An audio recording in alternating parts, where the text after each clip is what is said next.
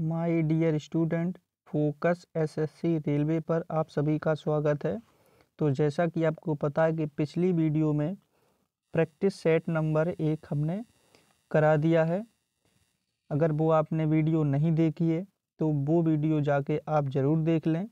तो आज हम प्रैक्टिस सेट नंबर दो की बात करने वाले हैं।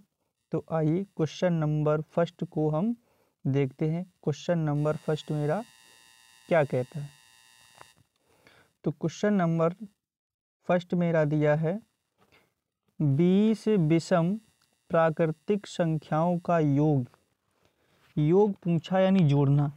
तो बीस विषम लेनी संख्याएँ तो आपको पता है कि एक से दस तक, एक से दस तक, यानी अगर काउंट करें one two three, four, five, six, seven, eight, nine और टेन। तो यहाँ पे देखा जाए कितनी विषम संख्याएँ आ रही हैं। तो यहाँ पे जब देखेंगे, one, two, three, four, five, यानी विषम संख्याएँ यहाँ पर कितनी आ रही हैं? फाइव आ रही हैं। कितनी आ रही? फाइव और सम संख्याएँ कितनी आ रही हैं? One two three four five यानी एक से दस तक पाँच विषम, पाँच सम। एक से दस तक कितनी? पाँच सम, पाँच विषम संख्याएँ आती हैं। तो इसी प्रकार से हमें चाहिए कितनी? बीस संख्याएँ। तो एक से बीस तक जाएँगे। कहाँ तक जाएँगे? एक से बीस तक। तो एक से बीस तक दस सम, दस विषम मिलेंगे। फिर भी हमको कितनी चाहिए? मुझे चाहिए बीस तो कहाँ तक जाना पड़ेगा? चालीस तक। कहाँ तक जाएँगे? मुझे जाना पड़ेगा चालीस तक। यानी एक से चालीस तक। तब कितनी संख्याएँ होंगी? तब मुझे मिलेंगी संख्याएँ बीस विषम तो हम जाएँगे चालीस तक, यानी one.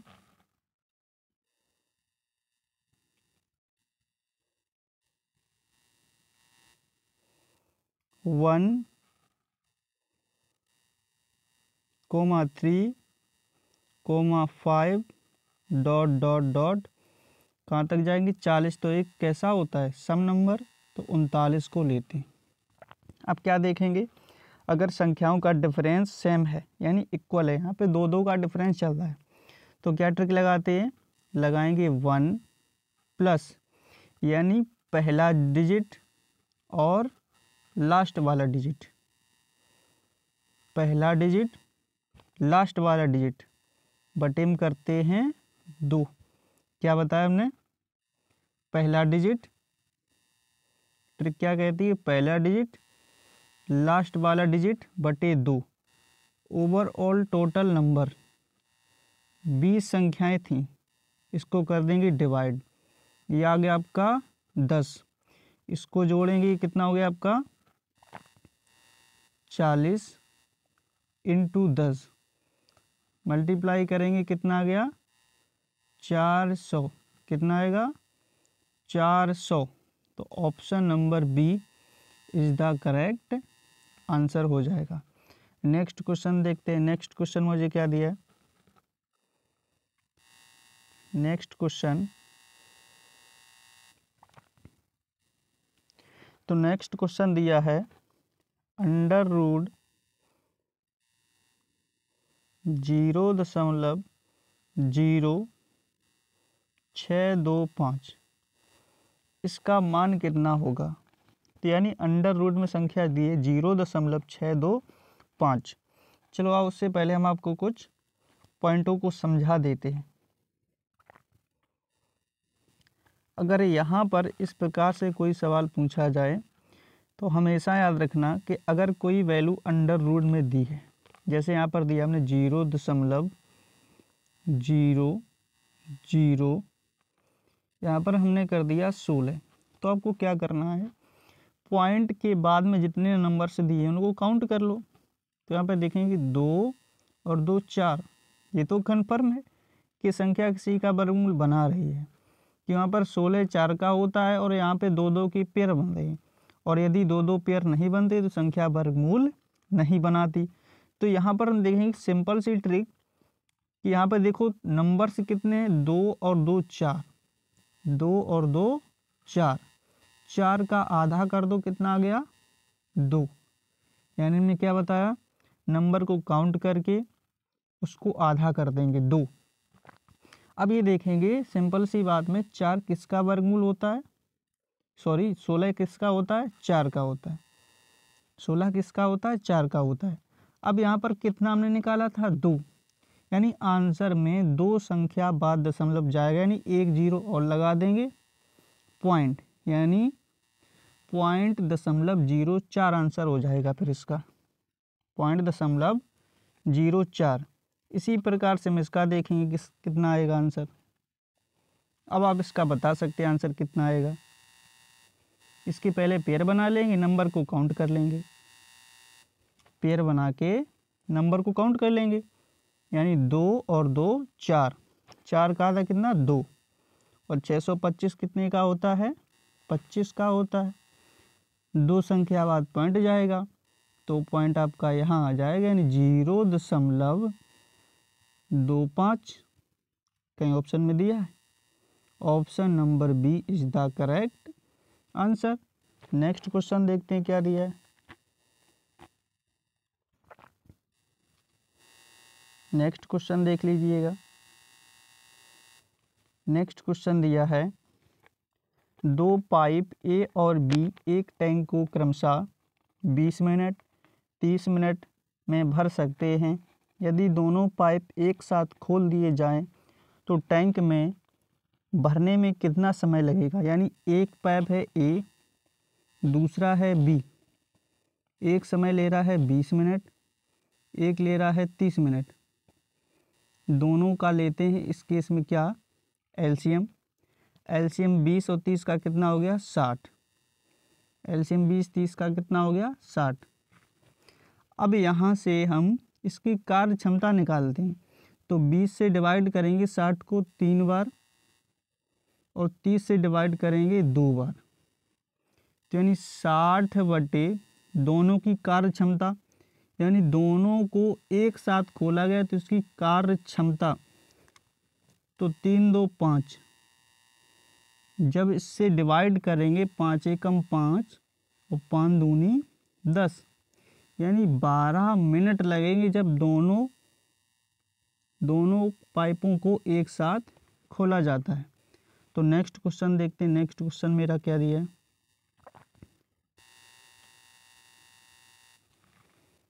तो मेरा नेक्स्ट क्वेश्चन क्या कहता है? पढ़ते हैं इसको नेक्स्ट क्वेश्चन को। दिया है, किसी वृत्त की जीवा की माप 16 सेंटीमीटर है, जिसकी वृत्त के केंद्र से दूरी छः सेंटीमीटर है। वृत्त का व्यास ज्ञात कीजिए। हमसे पूछा है, व्यास पूछा गया तो यहाँ भी पहले हम एक व्रत लेते हैं। क्या लेते हैं? व्रत लेते हैं।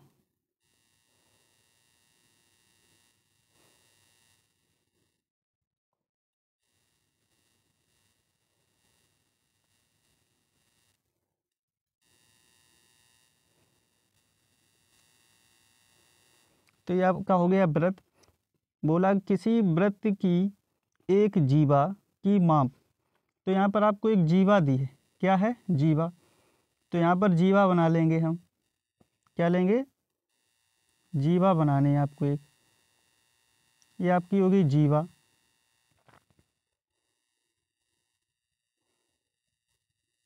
यानी व्रत की एक जीवा सोलह सेंटीमीटर, ये कितना है? ये आपका हो गया सोलह सेंटीमीटर। वृत्त की जीवा कितनी होगी? सोलह सेंटीमीटर हो गया। आगे क्या दिया है? जिसकी वृत्त से केंद्र से दूरी, यानी वृत्त से केंद्र, इसका केंद्र ये है, यानी यहाँ से यहाँ दूरी इसकी होगी छः सेंटीमीटर। कितनी दी है? छः सेंटीमीटर। हमसे पूछा क्या है? वृत्त का व्यास ज्ञात कीजिए। तो व्यास क्या होता है? यानी जो वृत्त के केंद्र से होकर रेखा जाती, उसको व्यास कहते हैं। उसी को क्या कहते हैं? उसी को व्यास कहते हैं। और ये इसकी होगी त्रिज्या। ये क्या होगी इसकी? त्रिज्या। अगर यहाँ पे डालना चाहो तो ए कर दो बी कर दो, ये आपका हो गया ज़ीरो। ये क्या हो गया आपका? ज़ीरो। तो यहाँ पर आइए इसको सॉल्व करते हैं। तो यहाँ पर लिखेंगे त्रिभुज ओ ए बी में तो आपने पैथागोरस में पढ़ी होगी पैथागोरस में। अब यहाँ पर देखो ये पूरा दिया है सोलह, यानी ये जीवा है इसकी पूरी सोलह, और इसको डिवाइड करेंगे तो आठ इधर हो जाएगा।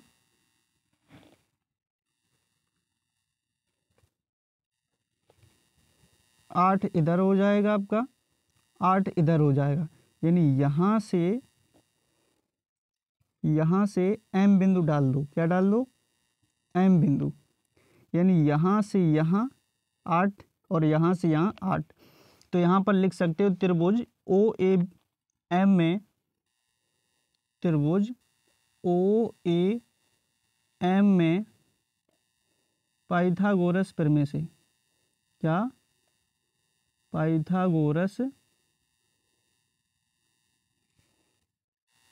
प्रमेय से प्रमेय से। क्या होती है? कर्ण का स्क्वायर और कर्ण आपका क्या दिया है? ओ ए कर्ण क्या दिया है? ओ ए का स्क्वायर प्लस लंब स्क्वायर लंब दिया है छः छः का वर्ग छत्तीस होता है।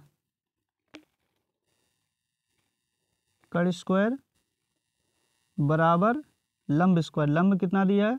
छः छः का वर्ग छत्तीस। प्लस आधार स्क्वायर तो आधार कितना आपका? आठ आठ का वर्ग चौंसठ। तो यहाँ से जब इसको ऐड करेंगे, टोटल कितना नंबर हो गया आपका? सौ। कितना हो गया? सौ।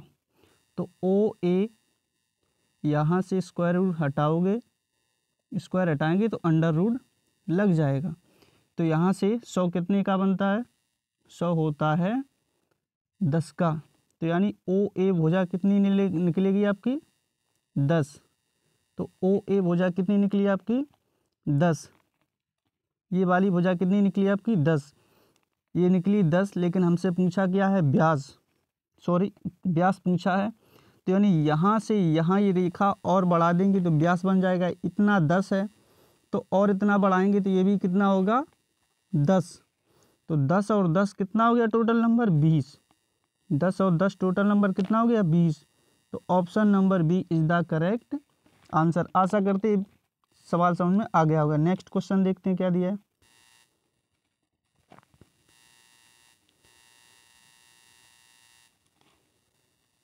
नेक्स्ट क्वेश्चन दिया है। सेम दिया है कि एक वृत्त की त्रिज्या पाँच सेंटीमीटर है। तो पहले हम वृत्त को बना लेते तो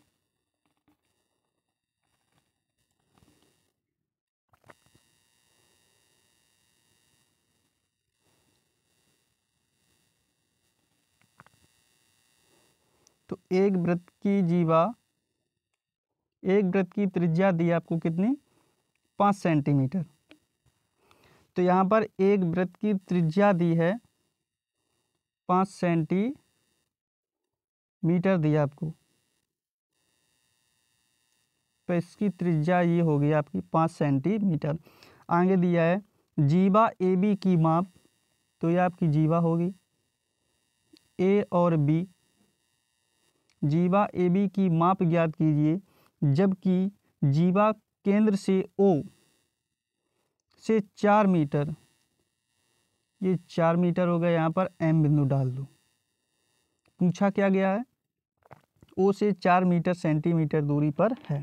यानी ए बी की माप, यानी इसकी पूरी, यानी हमसे पूछा गया है कि जीवा की माप क्या होगी।